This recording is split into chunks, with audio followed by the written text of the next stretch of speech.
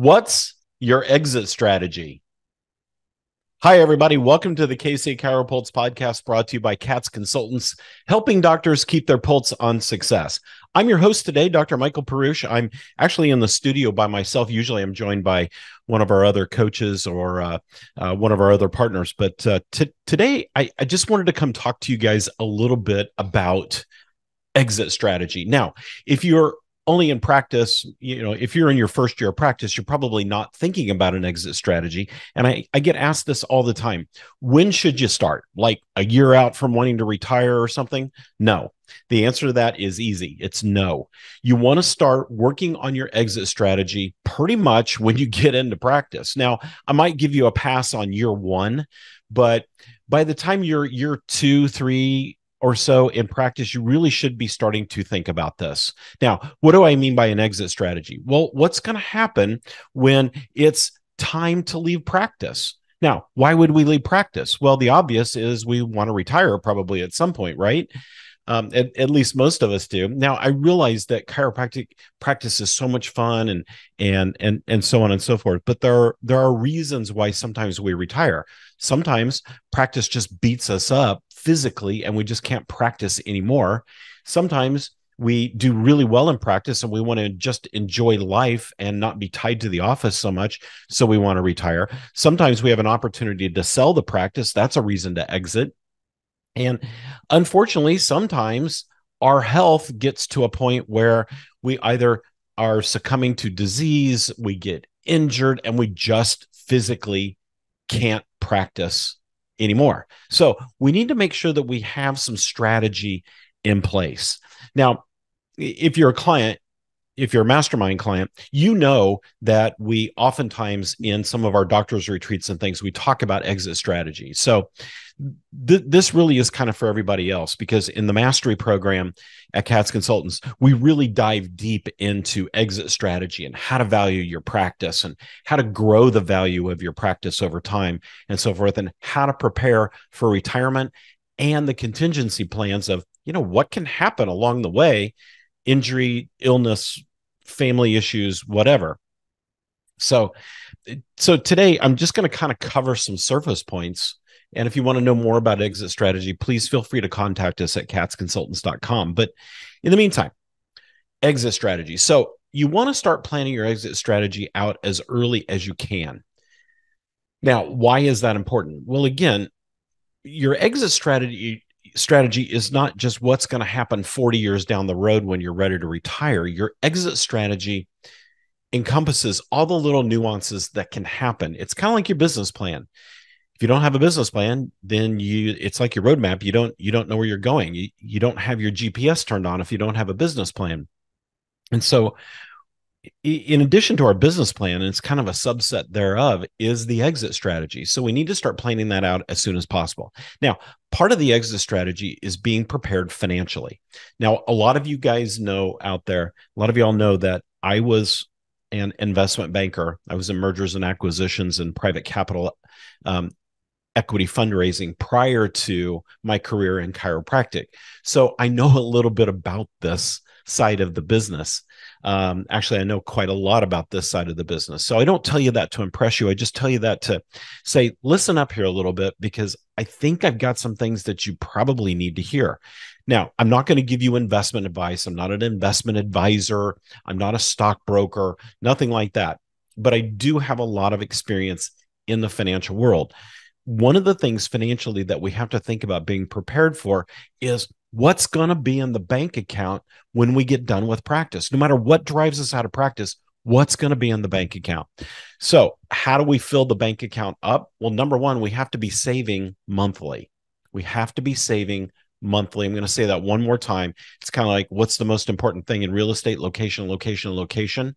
One of the most important things about having enough money at the end of the life cycle of chiropractic is to save monthly. Now, we recommend that your business save 15% of your cash flow every month. Now, some of you are probably thinking, wow, that's the money I live off of look at ways to grow your income and again that this is one of the, the primary things that we help practices with but look for ways to grow your income but also look for ways to cut your expenses back as much as possible. Some of you are carrying expense loads that are just ginormous and they don't need to be. Chiropractic practices should not be expensive to run. In fact, if your expense ratio is above about 55% of your revenue, then you probably need to really buckle down and look at either are you collecting everything that you're doing are you collecting for everything that you're doing? Is insurance cutting you too much? Are you moving patients over to maintenance and cash based services and they're paying you cash? Are your fee, structures set properly? In other words, do you have a good, solid I call it a rack fee structure, your insurance fee structure. And are you taking advantage of programs like Chiro Health USA to create a legal secondary cash fee schedule that your patients will th- those kind of programs really help your patients retain in your practice. Now, that's a key. You also have to look at retention here. If you're not able to put 15% of your cash flow away every month, you need to look at your retention. Businesses are built out of retention, not out of new customers. New customers help because you do have to replace some patients, but creating a high retention rate practice is incredibly important because that's what stabilizes your cash flow. So, back to the basics here. We need to be saving at least 15% of our cash flow. So, here's what I recommend start a separate savings account and put 15% in there. And when you get to the point where you have at least three months of expenses for your practice covered by that account, then start adding money to an inv- a business investment account where it can actually earn some money and grow. This is where you're going to want to get a financial advisor to help you with that. You know, who, who am I talking about? You know, there's Schwab, there's Fidelity, there's Chase, JP Morgan, you know, there's all kinds of investment uh, advisors out there. There, there are fiduciary investment advisors, which just merely take a, a small percentage of your um, your growth each year as their fee. They don't they don't take commissions and those things along the way. And those kind of financial advisors are great. So just find a good financial advisor. Talk to your accountant. Who's a good financial advisor? Talk to your friends. Who are they using um, talk to successful people in your community who are they using those are great ways to find a great financial advisor so we put 15% away every month once we have a reserve of about three months then you want to start a, a business investment account. So you're actually earning some money on it. So at the time of this recording, for example, two year treasury bills are paying almost 5%. That's a pretty good rate of return, especially when you consider that the stock market on average over over the years has returned about seven and a half percent yield to investors. So five percent versus seven and a half percent, pretty good. Treasury bills are very, very safe, at least right now. So, you know, there's just some great opportunities out there. And again, I'm not giving you investment advice, I'm just giving you some examples. So we need to be saving that money along the way. Now, something else that you can do is you can start your own Roth IRA. Now, what's a Roth IRA? Well, a Roth IRA is where the money you put in, you can pull back out tax free because you're putting it in after taxes. So, what's the advantage of that? Well, you have access to your capital, but as it grows, the growth part is tax exempt until you reach retirement age. So it's a great vehicle to be able to put some money away. And when it comes to IRAs, if you're above a certain age, and I apologize, I can't remember exactly what the age is. It's somewhere around 50, 55. If you're above that age, you can do what's called a catch up IRA, where you can actually add up to about $6,500 into that IRA each year instead of the traditional 2000.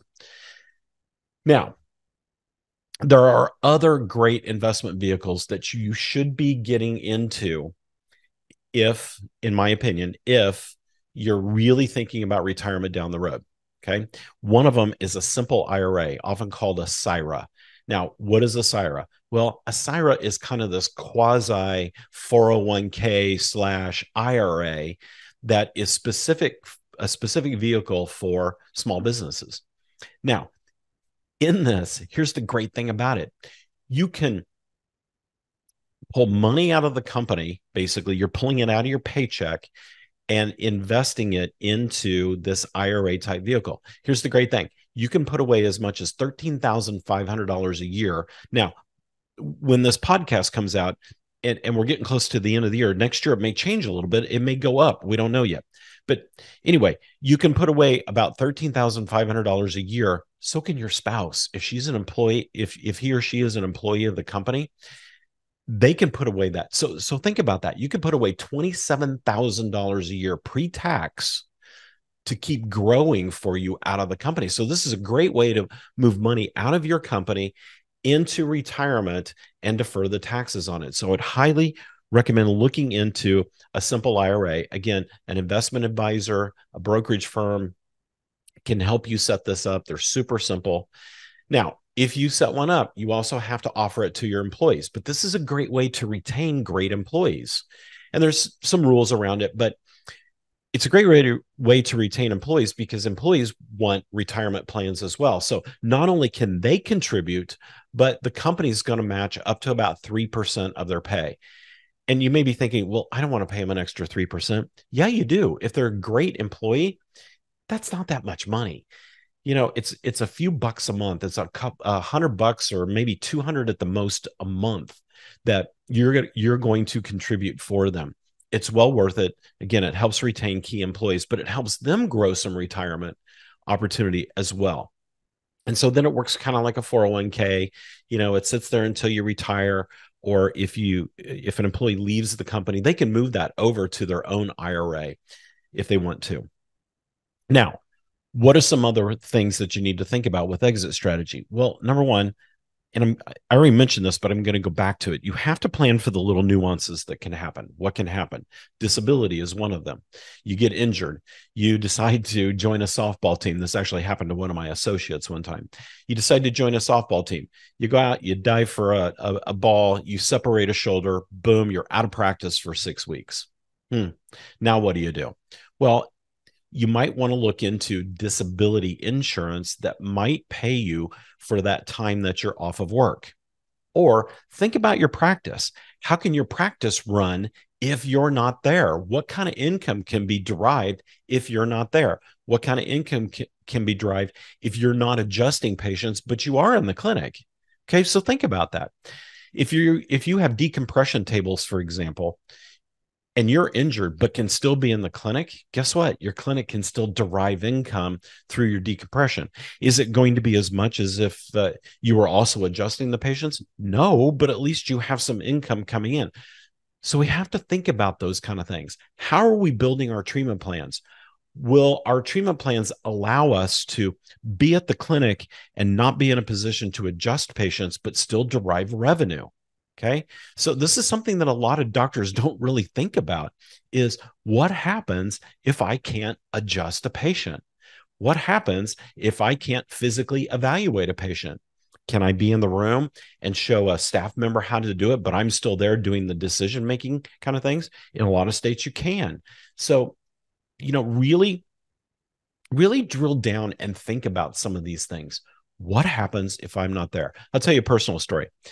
I was uh, Marissa's husband and I used to coach soccer. We used to coach our girls in traveling soccer, and we only had one goalkeeper. So a lot of times, because I had played goalkeeper when I was a kid, a lot of times I would go and be the goalkeeper in the other goal. Well, dummy me, I dove for a ball one time, I jacked up my elbow. Then a couple weeks later, um, I didn't realize it, but I had torn, torn, slightly torn my distal biceps tendon. Okay, so I, I didn't realize it at the time couple weeks later, I'm shoveling snow and snap.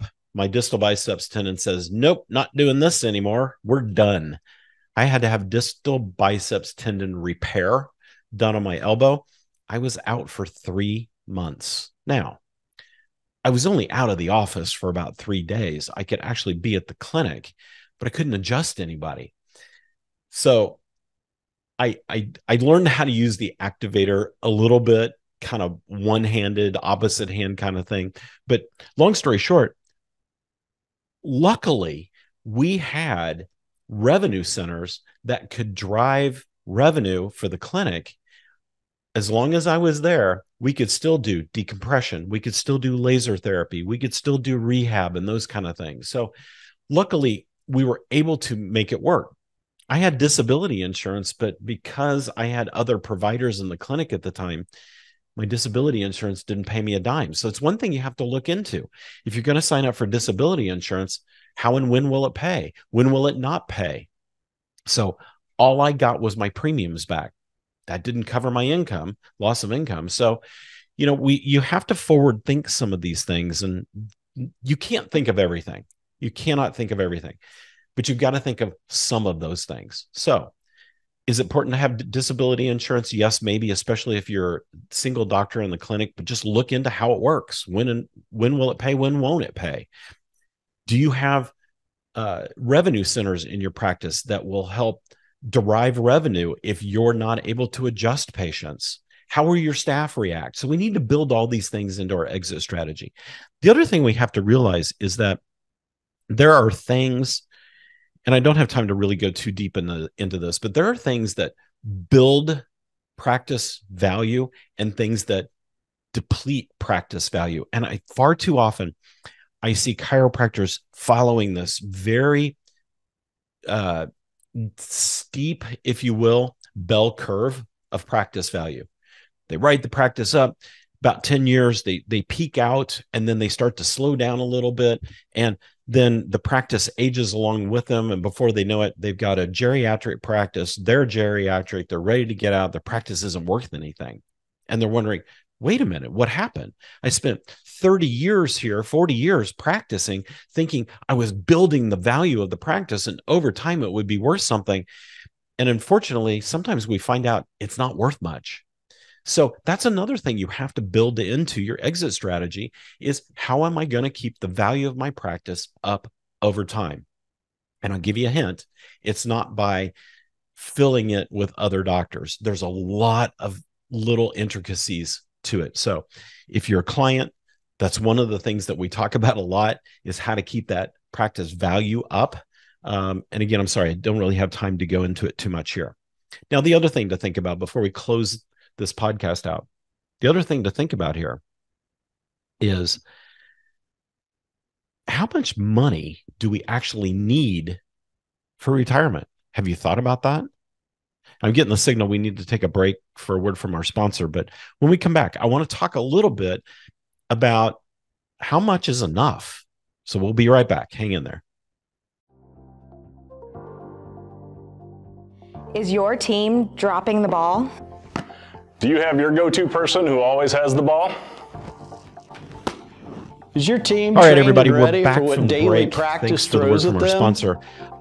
I started to talk about how much to money catch the training on their own. Now, that's a very open-ended question. Help you hit it out of the park. And a lot of the we investment gurus today coach. say that if you're a professional who's used to a, a a high level of income and I'm I'm just taking a stab at what that is. I don't know exactly what their level of income is that they're talking about, but I'm I'm just going to tell you from experience that if you're used to making $75,000 a year or more, you probably need about a million and a half to two and a half million tucked away mm-hmm. to comfortably comfortably live during retirement. Now, hmm, that's a big number. If you really stop and think about it, that's a big number. So, in chiropractic practice, how are we going to save that much? Well, the answer actually is pretty simple. We start early and we be incredibly diligent about the process we do the Roth IRA, we do the SIRA that I talked about. We we save money 15% at least out of the clinic every month and set it aside. We we do all those things and we set ourselves up.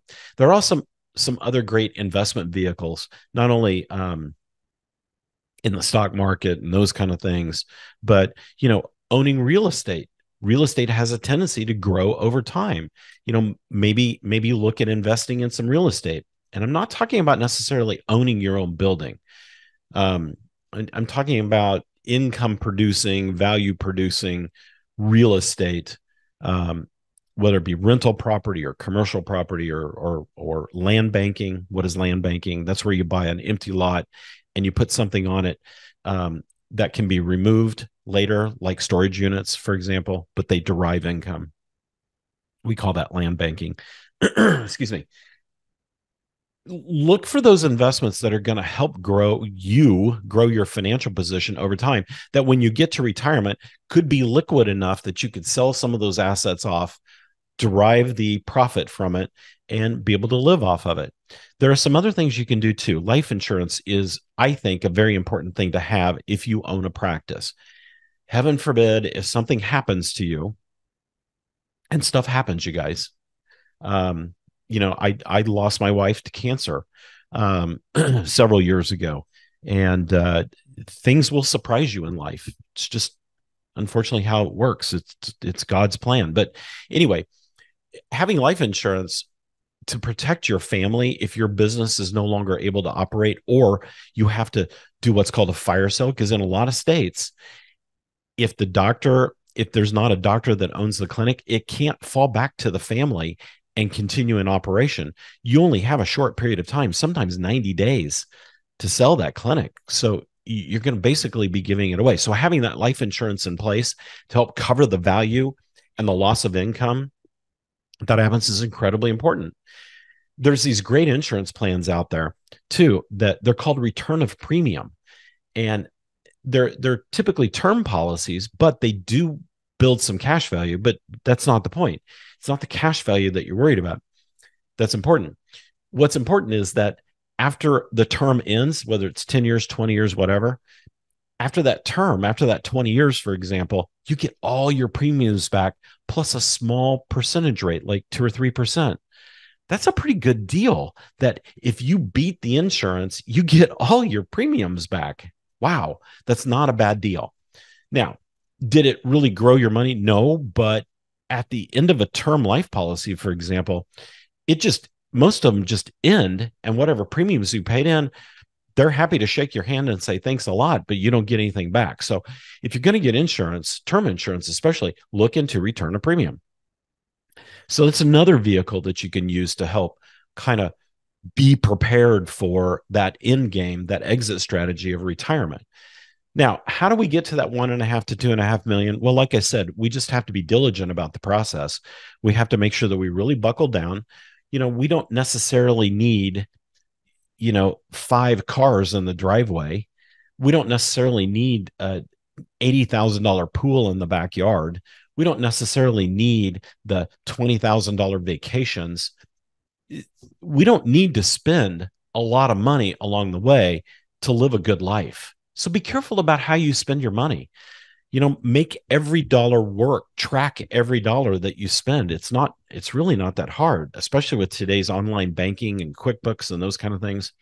The other thing is, I, I mentioned a financial advisor and I said, talk to your accountant about you know who's a good financial advisor they know a lot of them but make sure you're actually working with an accountant a lot of you are working with bookkeepers and in my opinion you really need a CPA working behind you, somebody that can give you advice and set the expectation that you want to meet with them at least twice a year. So you're going to meet with them once around tax season so that you can get all your tax things together, but you really should be meeting with them mid-year, third quarter somewhere in there in there as well to understand what your tax liability is looking like because we can as business owners a lot of times we can offset some of our tax liability by buying a piece of equipment. Now, don't buy equipment just to buy equipment and then put it in the back room. If you need to replace a table or something, they can be a good tax advantage for your practice. So think about tax advantages. And tax advantages aren't illegal. It's part of the tax code, as crazy as it is. Take advantage of those and make sure you're working with somebody that can really help you identify those kind of things. And yes, I know having a CPA, it costs you a couple thousand dollars to do your taxes and stuff and to do your monthly bookkeeping and so forth. But in the end, they're the ones that are going to help save you money along the way. They're going to point out things that can help you. They're going to point out things that can help give you some shelter against taxes. They're going to help you understand how best to spend your money, how to save your money. There are other things you can do too and again, I apologize. We don't really have time to get into all those things, but you know, bottom line of today's podcast is make sure that you're at least thinking about your exit strategy and writing some of it down. And then make sure key staff and your family know where to find that exit strategy if something happens to you. It's kind of like your living will. It's basically the living will for your practice. So make sure you really buckle down on that and start working if you if you don't have one in place and it's it's a living document, it's ongoing. Make sure that you have that exit strategy in place or that you're at least working on it. And if you need help with it, again this is one of the great things that we offer to our clients at Kats Consultants is helping you guys build that exit strategy. Now we do this in our path to mastery program and as you know we have different programs. There's path to prosper path to mastery there's path to prosper plus one. Um, so we have several options for you but if you're in our path to mastery program in our annual doctors retreat which everybody loves in the annual doctors retreat we oftentimes spend a good amount of time talking about this. In fact, we did an entire series this year on exit strategy in our mastermind sessions. So, you know, if you haven't done so already, go to katsconsultants.com, see all the great things that we're helping doctors with. And and here's a big takeaway. I told you earlier that my background was in was in investment banking and private uh, private equity capital prior to chiropractic. We know a lot about business you know and it's not just my experience. Marissa troy all of us have uh, kelly alex we we all have a lot of business experience both inside and outside of chiropractic which is a benefit to you guys because that allows us to help you build a better practice. And what's a better practice? It's a practice that not only brings you the profitability you're looking for but it's a practice that you enjoy working in and working on so go to Kats Consultants, check us out. Uh, we've got some free downloads on there. Um, sign up for one of our upcoming events and see what we do. All right, everybody. I'm, uh, I think, done rambling on and on and on. And remember, today was not about investment advice, it was about exit strategy and just some things to really think about along the way. So thanks for listening, everybody. Appreciate you tuning in to the KC Chiropulse podcast every week, brought to you by Kats Consultants. We will see you next time.